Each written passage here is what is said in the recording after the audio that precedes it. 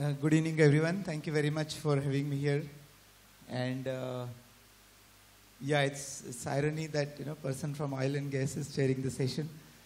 Uh, I'm going to talk to you some more uh, insights, and as a professor, normally professor, you know, good at asking questions. I'm going to pose some questions. Unfortunately, there are not many audiences. There are more lights which are on than the audience who is sitting there. Nevertheless, I'm going to talk to about the trans energy transformation that uh, that has to happen. That is happening to some extent, but uh, it is way too far away from what is actually required. And uh, throughout the day, many people, you know, touched upon the climate change that is happening, and it is not only happening; it is accelerating. It's accelerating very fast. I have been a professor at IIT Bombay for 17, 18 years, and I'm on unpaid leave now. I'm traveling. I live in a bus. Some of you have already come and seen my bus, which is uh, standing outside. So why is the professor gone crazy? You know that he has left home for 11 years and living in a bus and going around the country, or there can be a serious, serious reason about it. So the climate is changing, and it is changing very fast, but I believe that the technology and science is not the solution to the problem that we are having right now.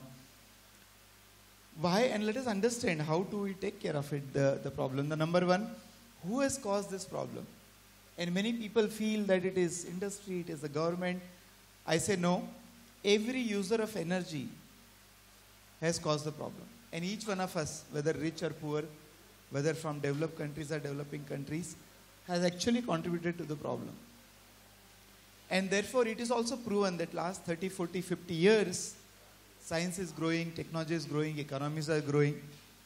Not only that science and technology is growing by leaps and bounds, there are also legally binding agreement all over the world. There are, you know, starting from 1998, there was a Kyoto Protocol, and then Paris Agreement in 2015, where 181 countries signed together that we are going to reduce our carbon emission by 50% by 2030 the real fact is that the carbon emission is increasing every year 1.7%. So it seems that whatever science and technology that we are growing is not working out. Whatever government legally binding agreements that we are doing is not working out. Climate change is worsening every year. And look what is happening right now. There, I think, couple of months there are floods in Australia. Then there are like forest fires in Europe. Rivers in the Europe are drying up.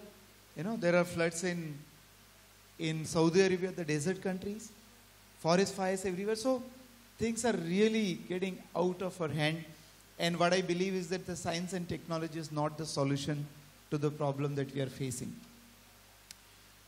So what is the solution then? And there is the one, there are two fundamental solutions that we have to follow. There are fundamental laws to live on this nature. There are fundamental laws to live on the planet. And if you're not going to follow those fundamental laws, it is impossible that with the science and technology we can solve the problem. You can actually go to the moon. You can actually go to the Mars. You can create a 5G network, 6G, net, 10G network. But you will not be able to solve the problem. What are the fundamental laws? Number one, in an ecosystem of finite resources, there has to be finite consumption. You know, our father of the nation, Mahatma Gandhi said, there's only enough in the world for everyone's need, not for anyone's greed. He said some hundred years ago there was no climate change. There was no pollution. There was everything was fine. Still he said this. Why? Because it is this law of nature that there has to be limit to anything and everything that we do. Unfortunate part of this world is that we all feel that we should continuously grow, we should produce more, consume more. We should, you know, get into problem uh, the one problem and then you know produce more electric vehicles and all that will problem solve. No, everything in this world is finite and fixed, and therefore first thing modern human have to learn is that you have to limit our consumption. Second law to exist on the planet is in an ecosystem of finite resources, there has to be distributed production. Again, I quote Mahatma Gandhi said, not the mass production, production by masses is required. Because the current model has been creating more inequity in the world.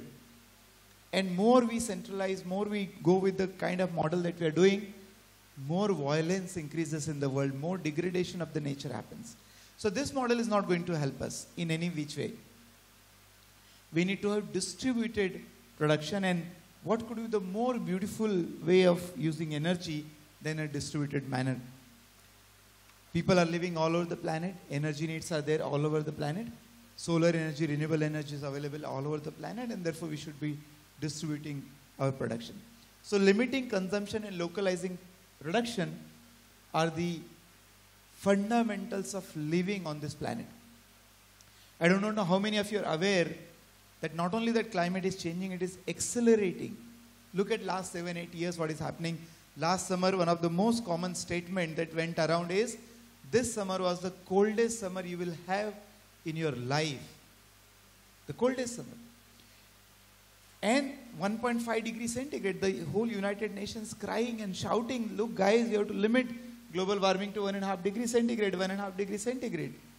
Everybody is like parrot also, you know, keep talking, we have to limit our global warming to 1.5 degrees centigrade, but not understanding what needs to be done for 1.5 degrees centigrade. You know how much time is left? I don't know. Audience is there. It takes, as of today six years and some 333 days left before we touch one and a half degree centigrade, by which the change in the climate will starts to become irreversible. And by 2 degrees centigrade, which is another 20 years, the entire climate change will become irreversible. After that, even the whole humanity become sent. Sadhu sant ban jayenge और एक लंगोट पहन के घूमेंगे फिर भी you will not be able to reverse the climate change. And we are running out of time. And we are behaving as if, you know, there's already hundreds of years left before us. Politicians, policymakers, educationalists are not even understanding what is the problem. And therefore, I believe that the problem, the solution does not lie in developing more of science, more of technology. There's already enough to go to the moon and go to the Mars. That's already enough. It is about understanding these basic limits for living on the planet that we have to learn how to limit our consumption. We have to learn how to localize our production. Until unless we do this, I guarantee that human life will not survive on this planet. We cannot survive on this planet. And we, as we keep saying, you know, that once upon a time there were dinosaurs on the planet and they are not there anymore. They got disappeared. If you are not going to behave properly, in some 3, 4,000, 5,000 years later, a new species will appear on the planet and they will say, once upon a time, there were humans on the planet. You know, I hope that time will not come. I hope we'll go beyond science and technology. I hope we understand our basic nature and limits to the planet. The size of the planet, its resources are fixed and finite, and therefore we cannot continuously produce more and consume more. We have to limit our production as well as the consumption. That is the bottom line. And if you're not going to do this, no science, no technology will ever help human life to become sustainable on this planet. Thank you very much for having me here.